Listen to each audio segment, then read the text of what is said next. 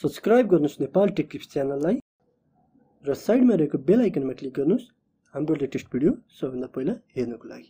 नमस्कार दर्शकबिन म युवराज काफले तपाईँहरू अहिले हेर्दै हुनुहुन्छ नेपाल टेक टिप्स म आज तपाईँहरूलाई हाम्रो यो भिडियोमा एउटा टिप्लिङको वाइफाई रेन्ज एक्सटेन्डरको अनबक्सिङ गरेर देखाउँदैछु। मसँग यो टिप्लिङको वाइफाई रेन्ज एक्सटेन्डर यहाँ छ। तपाईँले हेर्न सक्नुहुन्छ। यो टिप्लिङ रेन्ज एक्सटेन्डरको बट्टा यहाँ केही डिटेल दिएको छ यसको बारेमा। यहाँ लेखिएको छ three hundred Mbps universal WiFi range extender भनेर र यसको मोडल नम्बर पनि दिएको छ। तपाईँले हेर्न सक्नुहुन्छ यसको मोडल नम्बर छ TLW eight five zero RE तपाईँहरू यसलाई गएर मार्केटमा खोज्न सक्नुहुन्छ र यसमा साइडमा अलिकति यसको प्याकेज कन्टेन्ट दिएको छ। प्याकेज कन्टेन्टमा यसमा एउटा रेन्ज एक्सटेन्डर हुनेछ एउटा क्विक इन्स्टलेसन गाइड र एउटा RJ forty five Ethernet cable हुनेछ। र यसमा सेटअप रिक्वायरमेन्टहरू पनि दिएको छ विन्डोज सेभेनहरू विन्डोज एटहरू र यहाँ एउटा क्युआर कोड स्क्यानर पनि दिएको छ। र तपाईँले हेर्न सक्नुहुन्छ यहाँ लेखिएको छ extend the signal range of WiFi network भनेर। र हामीले एउटा कुनै पनि राउटरमा यो कनेक्ट गऱ्यो भने हामीले यसको रेन्ज एक्सटेन्ड गरेर ज जति पनि मोबाइलमा कनेक्ट गर्न सक्छौँ र यहाँनिर यो जुनसुकै राउटरमा पनि काम गर्नेछ र यसको मोबाइल एप्लिकेसन तपाईँहरूले प्ले स्टोरमा पनि पाउन सक्नुहुन्छ। त्यसै गरी आइफोनको लागि एप स्टोरमा पनि पाउन सक्नुहुन्छ। र यहाँ साइडमा दिएको छ यसको केही डिटेलहरू। त्यो हामीले खासै त्यस्तो केही पनि छैन। र अब हामी यसको प्याकेज कन्टेन्टतिर अगाडि बढौँ। यसभित्र के के प्याकेज कन्टेन्ट छ भनेर। र यहाँ दिएको छ यो टिप्लिङको क्विक इन्स्टलेसन गाइड तपाईँले हेर्न सक्नुहुन्छ। यो यो टिप्लिङको कन्ट्याक्ट नम्बर टेक्निकल सपोर्टको लागि। यहाँ हरेक कन्ट्रीको दिएको छ कन्ट्याक्ट नम्बर तपाईँहरू यस केही पऱ्यो भने यहाँ कन्ट्याक्ट गर्न सक्नुहुन्छ। यसलाई म साइडमा राख्छु। र यो टिप्लिङको पब्लिक नोटिस लाइसेन्स नोटिस यो हामीलाई खासै काम लाग्दैन। यसलाई म साइडमा राख्छु। र यो टिप्लिङको क्विक इन्स्टलेसन गाइड यहाँ हामीलाई कसरी यो प्रडक्टलाई सेटअप गर्ने भनेर सिकाएको छ। यो हामीले खासै हेरिरहनु पर्दैन यो बेसिक कुरा हो। र त्यही पनि म तपाईँलाई यो भिडियोमा पुरै सिकाउने छु। हामीलाई यसलाई कसरी सेटअप गर्न सकिन्छ भनेर र म यसलाई पनि साइडमा राख्छु। र यो रह्यो हाम्रो टिप्लिङको वाइफाई रेन्ज एक्सटेन्डर यो चाहिँ अहिले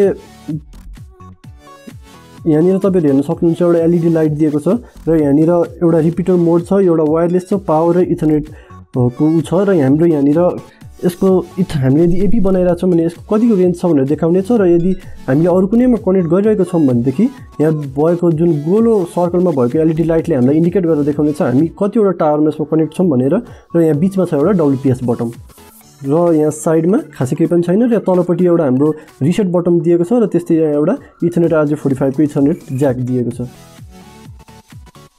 र रह्यो यहाँ अरू कन्टेन्ट हेरौँ। हामीलाई यो बट्टामा एउटा दिएको छ आरजे फोर्टी फाइभ केबल जसको बिल्ड क्वालिटी एकदमै राम्रो छ। र अब हामी यसलाई प्लगमा जोडेर हेरौँ र यसलाई कसरी सेटअप गर्ने भनेर हामी तपाईँलाई मोबाइल एप्लिकेसनबाट देखाउनेछौँ। र यो रह्यो यो रह्यो हाम्रो रिपिटर र म यसलाई पावरमा कनेक्ट गर्छु र मोबाइल एप्लिकेसनमा हामीले यसलाई कसरी सेटअप गर्ने भनेर सिकाउनेछु।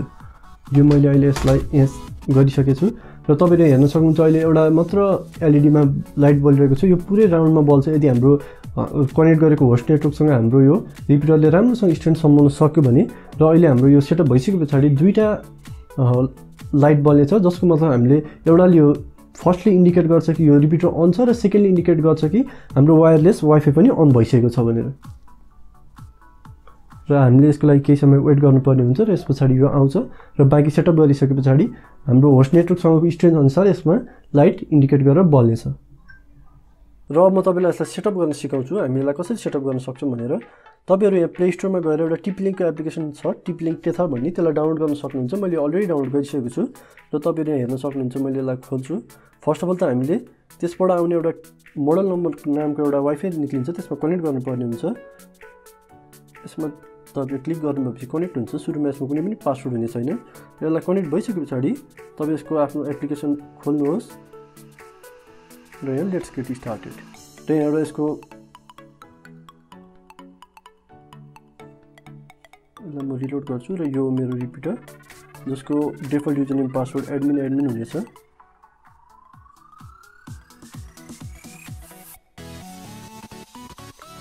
र यो फर्स्ट सेटअप भइसके पछाडि यसले सिधै आफ्नो एपी खोज्न थाल्छ। जब तपाईँले सेकेन्ड टाइमदेखि लगइन गर्नुहुन्छ यसको एउटा फ्रन्ट पेजमा गएर बस्नेछ जहाँ तपाईँहरूलाई छुट्टै छुट्टै सेटअप गर्ने अप्सन दिनेछ। तर फर्स्ट टाइम सेटअप गर्दा चाहिँ सिधै आफ्नो होस्ट नेटवर्क खोज्नेछ। र यो यति स्क्यान भइसके पछाडि तपाईँ यहाँ रेड कलरको र रिपिटरमा क्लिक गर्न सक्नुहुन्छ। र जहाँ तपाईँहरूलाई यति धेरै वाइफाईले टिपेको छ जसको तपाईँले पासवर्ड थाहा छ भने रेन्ज एक्सटेन्ड गर्न सक्नुहुन्छ। म तपाईँहरूलाई एउटा देखाउँछु। मसँग अहिले यहाँ छ एउटा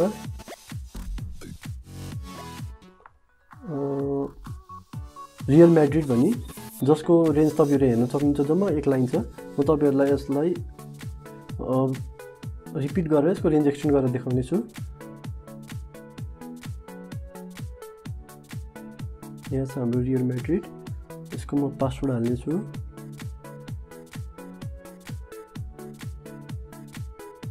र यति पासवर्ड हालिसके पछाडि तपाईँहरू यहाँ डाउन गर्नुहोस्। र यसमा नेक्स्ट गर्नुहोस् र तपाईँहरूले आफ्नो एक्सटेन्डेड नेटवर्कको पासवर्ड चाहिँ तपाईँहरूले आफ्नो राख्न सक्नुहुन्न तर यसको नाम चाहिँ तपाईँहरूले आफूले जे मन लाग्छ त्यो राख्न सक्नुहुन्छ। म अहिलेलाई रियल म्याड्रिडै राख्छु र म यसलाई नेक्स्ट गर्छु। फिनिस यसलाई सेटअप हुने केही समय लाग्छ। यो हन्ड्रेड पर्सेन्ट भइसके पछाडि तपाईँहरू रियल म्याड्रिडको रेन्ज एक्सटेन्ड भएको हेर्न सक्नुहुन्छ। अघि हामीसँग रियल म्याड्रिडको जम्मा वान लाइन थियो। र अब हामी हेरौँ रियल म्याड्रिड तपाईँले हेर्न सक्नुहुन्छ रियल म्याड्रिडको रेन्ज फुल भइसकेको छ। र तपाईँले यसरी रेन्ज एक्सटेन्डरलाई युज गरेर त्यसको रेन्ज एक्सटेन्ड गरेर चलाउन सक्नुहुन्छ। हामीले अहिले सिक्यौँ मोबाइल एप्लिकेसनबाट यो रिपिटरलाई कसरी सेटअप गर्ने भनेर र म तपाईँहरूलाई अब इन्टरनेट केबललाई ल्यापटपमा जोडेर यसलाई हामीले कसरी सेटअप गर्न सकिन्छ भन्ने कुरा सिकाउने छु र साथै इन्टरनेट केबलको थ्रुबाट हामीले यो रिपिटरलाई कसरी एउटा एपी फ्याँक्ने डिभाइस पनि बनाउन सकिन्छ भनेर सिकाउने छु। र यो रह्यो हाम्रो रिपिटर र यो रह्यो हाम्रो आरजे फोर्टी फाइभ केबल जसलाई म यो साइडमा कनेक्ट गर्छु आरजे फोर्टी फाइभको पोर्टमा। र म अर्को यो अर्को पार्ट हाम्रो ल्यापटपमा कनेक्ट गर्नेछु र हामी यसलाई अघि मोबाइल एप्लिकेसनबाट कसरी सेटअप गर्ने भनेर सिकाएको थियौँ र अब यसलाई हामीले ल्यापटपमा कनेक्ट गरेर वेब पेजबाट हामीले यसलाई कसरी सेटअप गर्ने र इथरनेट केबलको हेल्पबाट हामीले यसलाई कसरी एपी फ्याँक्ने डिभाइस पनि बनाउने भनेर सिकाउनेछौँ। र यसको लागि म यहाँ यो पावरमा कनेक्ट गर्नेछु र अर्को पार्ट ल्यापटपमा कनेक्ट गर्नेछु। र मैले अहिले हाम्रो यो ल्यापटपमा कनेक्ट गरिसकेको छु रिपिटरलाई तपाईँले हेर्न सक्नुहुन्छ। यहाँनिर एउटा इथरनेट केबलमा जोन स्नो थ्री लेखेको छु यो नाम सायद जे पनि आएको हुनसक्छ। यो हामीले इथरनेट केबलबाट कनेक्ट गरिएको हो। र म तपाईँलाई यसमा यसको इन्टरफेस खोलेर देखाउने छु वेब इन्टरफेस। त्यसको लागि तपाईँहरू यहाँ टिपी लिङ्क रिपिटर डट नेटमा जानुपर्ने हुन्छ। यहाँ तपाईँहरू आफ्नो पासवर्ड हाल्नुहोस् डिफल्ट पासवर्ड। र यो लगइन हुन्छ। यस्तै गरी तपाईँहरू यसमा टिपलिङ्क रिपिटर डट नेटबाट पनि कनेक्ट गर्न सक्नुहुन्छ र यसको आइपी एड्रेस पनि हुन्छ र आइपी एड्रेसबाट पनि कनेक्ट गर्न सक्नुहुन्छ। आइपी एड्रेस पत्ता लगाउनको लागि आइपी कन्फिग गर्नुहोस्। र यहाँ डिफल्ट गेटवे दिएको छ one nine two point one six eight point zero point two five four जस्तै one nine two point one six eight point zero point two five four हाल्दाखेरि पनि तपाईँहरू एउटै इन्टरफेस देख्न सक्नुहुनेछ।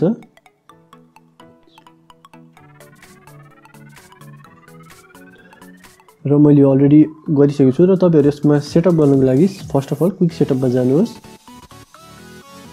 क्विक सेटअपमा तपाईँहरू यहाँ देख्न सक्नुहुन्छ स्क्यानिङ भइरहेको छ।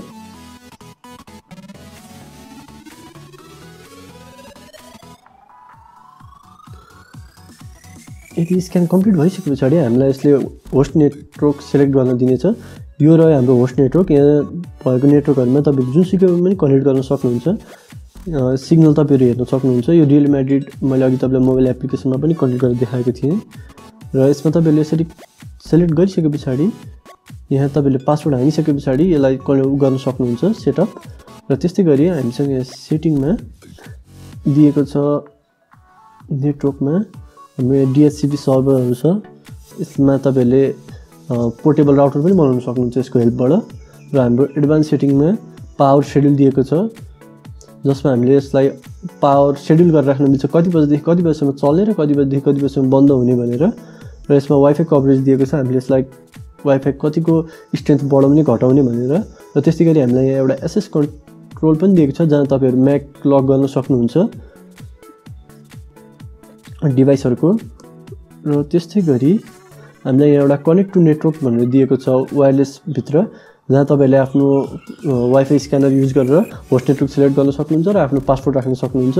र त्यस्तै गरी हामीलाई एउटा एक्सटेन्डेड नेटवर्क दिएको छ जसमा तपाईँले आफ्नो नेटवर्कको नाम चेन्ज गर्न सक्नुहुन्छ र हामीलाई यहाँनिर एउटा ल्याङ्ग्वेज सिलेक्ट गर्न दिएको भन्दा साइडमा एउटा मोड भन्ने दिएको छ जहाँ हामीले एउटा एसएस पोइन्ट मोडमा लान सकिन्छ र एउटा रेन्ज एक्सटेन्डेड मोडमा लान सकिन्छ।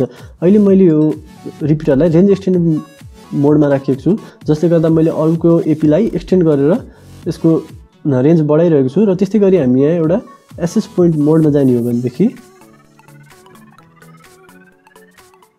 यो अब अहिले एसएस पोइन्ट मोडमा गइरहेको छ यसलाई रिबुट हुन टाइम लाग्छ। हामीले एसएस पोइन्ट मोडमा गएर चाहिँ हामीले जुनसुकै ल्यान्डबाट क्याट सिक्सबाट आएको नेटलाई चाहिँ वाइफाईमा कन्भर्ट गर्न सकिन्छ यो डिभाइसको थ्रुबाट यो डिभाइसलाई एउटा राउटरको रूपमा युज गर्न सकिन्छ हामीले जुन म तपाईँहरूलाई यहाँ सिकाउने छु अब। र यो अहिले रिबुट भइरहेको छ यसमा केही समय लाग्नेछ रिबुट हुनलाई। हामीले एकछिन केही वेट गर्नुपर्ने हुन्छ।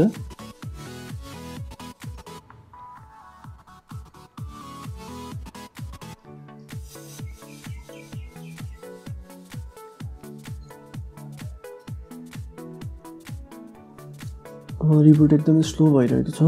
सायद यो मोड चेन्ज हुनु कारणले गर्दाखेरि होला। दुइटा काम एकचोटि भइरहेको छ त्यसैले यो रिबुट हुन टाइम लागेको हो।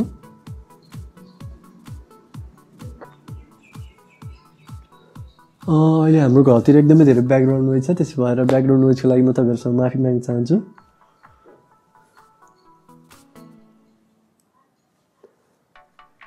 र हाम्रो यो रिबोटिङ कम्प्लिट भइसकेको छ र हामी फेरि अब एकचोटि यो सायद अन भइसकेको छैन। र हामी फेरि टिपिलिङ रिपिटर डट नेटमा जान्छौँ। र यो ओपनिङ भइरहेको छ यहाँ तपाईँ आफ्नो डेफल्ट आइडी पासवर्ड हाल्नुहोस्। सायद पासवर्ड रङ भयो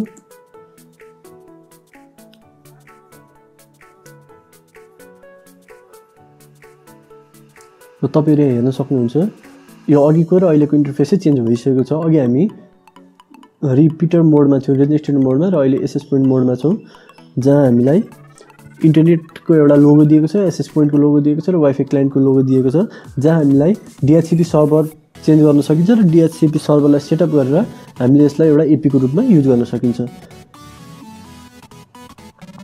र रह्यो यो भिडियो हाम्रो यति नै। र यदि तपाईँहरूलाई हाम्रो यो भिडियो मन परेको छ भने लाइक सेयर गरिदिनु होला। र साथै यो भिडियो हाम्रो साथी तपाईँहरूको साथीभाइको माझमा सेयर गरेर हामीलाई चाँडोभन्दा चाँडो अगाडि बढ्न हेल्प गरिदिनुहुन्छ भन्ने आशा राखेको छौँ। र भविष्यमा पनि हामी तपाईँहरूको लागि यसरी नै राम्रो भिडियो लिएर आइरहनेछौँ। त्यसैले सब्सक्राइब गर्न नभुलिदिनु होला। धन्यवाद।